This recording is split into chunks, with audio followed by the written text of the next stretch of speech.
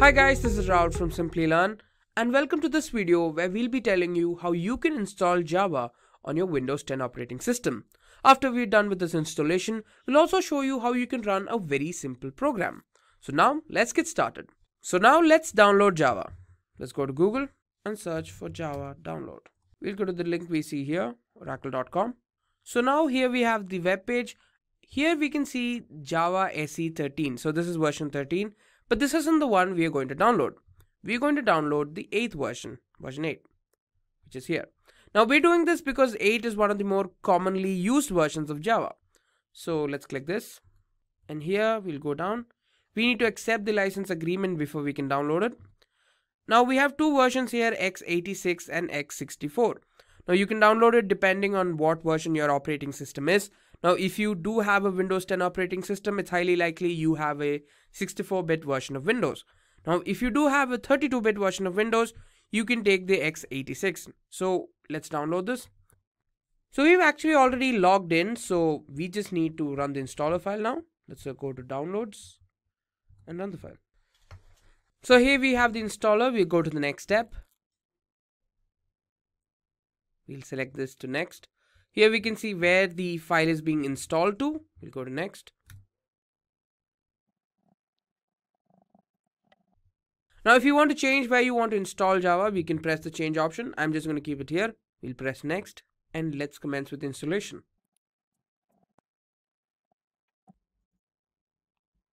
And there we go. The installation is now complete.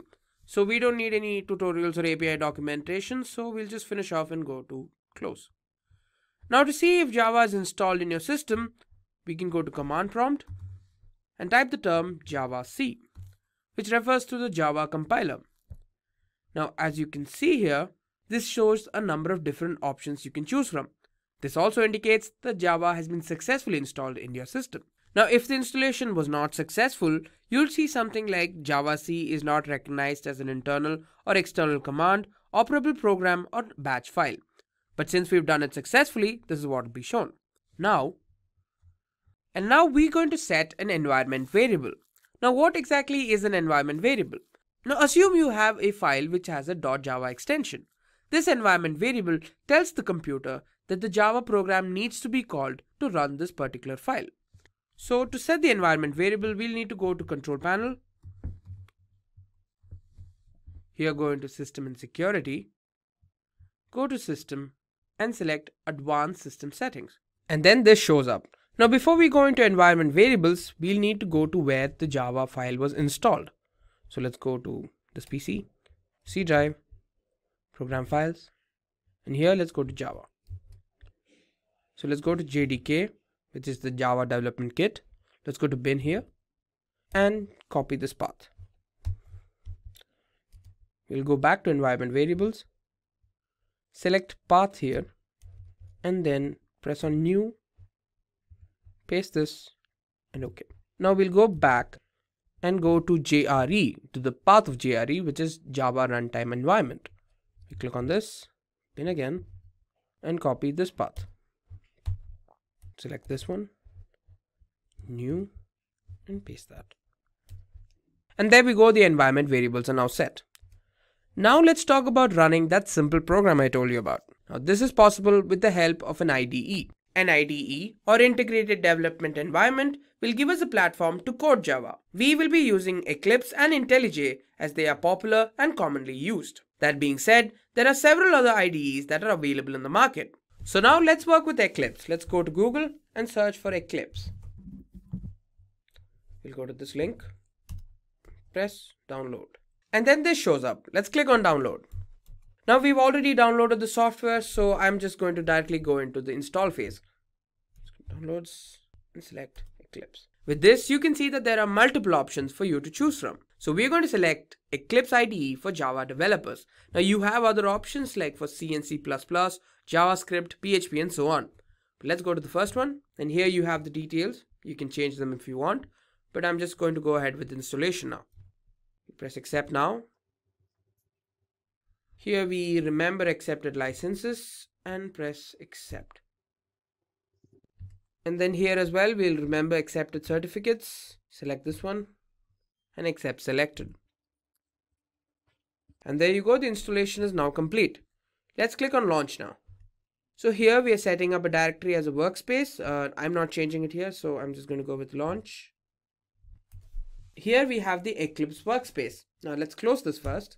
And here we have the package explorer. Now in case this doesn't show up, you can go to window, show view and select on package explorer. So now let's go to file, new and Java project. We need to set up a project name. I'm going to call it my project one. Go to next. We'll go to source. So this is where the source code for your program is going to be stored. Then let's finish. And now we'll click on my project one, go to source, right click, new, and create a class. We'll claim, I'll name the class my class and create it. And here we have it. So now let's write a simple program to multiply two numbers. So now let's write the main function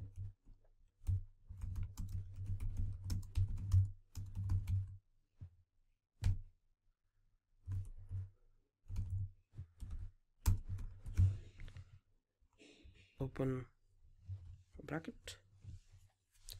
Now we're going to initialize the first number. Now the second one. And finally the output. And finally the variable that will store the output.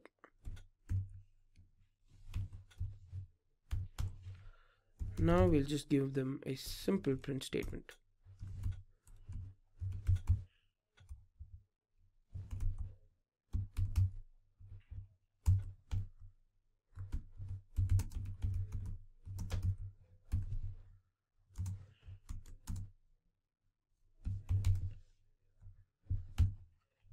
Now let's run the code by clicking this option here using myclass.java. And there we have it. Here the product is shown to be 100, indicating that the program is running successfully. Now we're done with Eclipse. Now let's move on to the other IDE I was talking about, which is IntelliJ. So for that, again, we'll have to go back to Google so that we can download it. Search for IntelliJ download. Go to this link here. So here you can see that we have two options, the Ultimate Edition and the Community version. Now here the ultimate version has way more options as you can see here, but it's a paid version and only has a free trial. Now the community version is free, so that's what we're going to take. So we'll click on download here. So I've already downloaded the software, so I don't need to do it again. So I'm going to go downloads and so here we go. Let's just click on next. Select the location where you want to install it. Press next. Now we will add a 64-bit launcher shortcut on the desktop and create associations. So basically this means that these are the different file extensions that this will support. So .java, .groovy. And now let's go to the next step. We'll install now and we'll wait. And there we go. The installation is now complete. Let's not import any settings. We'll accept the privacy policy. We'll set defaults. Now let's create a new project. So here make sure your project SDK is set to the version of Java you've installed. Make sure this isn't blank we'll go to next. Here you need to select this option which is the create project from template. And we are now going to create a command line application. Press next. Name the project which i'm going to call my project 2 you can change the location if you want. I'm just going to keep it the way it is and then click on finish.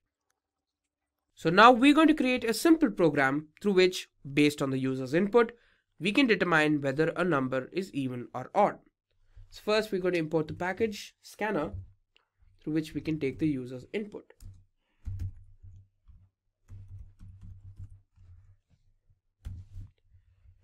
Next, let's go inside here. Let's create the variable reader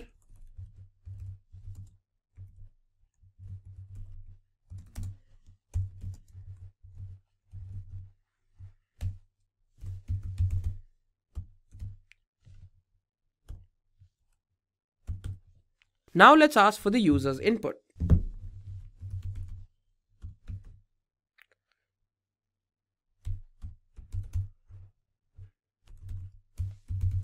Enter a number. We're taking in the value now in the variable num. reader dot next int so this is with which we'll be taking in the value from the user. So we're going to set up a condition to determine whether the number is even or not. So if the number when when divided by 2 provides the remainder 0 it indicates that it's an even number. We'll show them then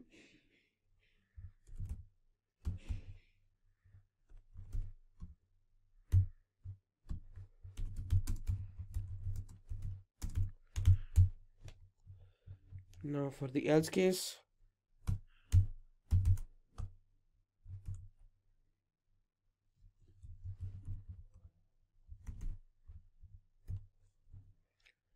the number is not even.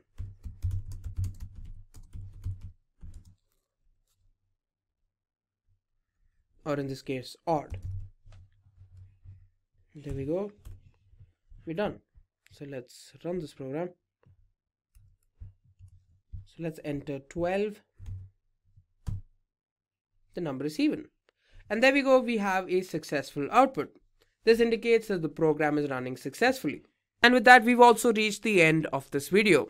I hope you guys found this informative and helpful. Thank you for watching and stay tuned for more from Simplilearn. Hi there, if you like this video, subscribe to the Simplilearn YouTube channel and click here to watch similar videos. To nerd up and get certified, click here.